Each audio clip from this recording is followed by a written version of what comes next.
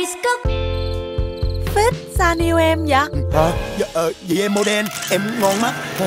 Anh hình thức quá vậy à, không, không, anh anh còn yêu mì hành tôm trong em nữa. Đồ thức giống. Có- Có nghĩa là em đậm đà cay cay chua chua. Ý là chua quá chứ gì? Chia ừ. tay đi. Lia, Chỉ có em làm anh sụp sôi. Hả? Chỉ có em chấp nhận khi anh chỉ còn nửa bình. Mì ly mô không cưỡng nổi.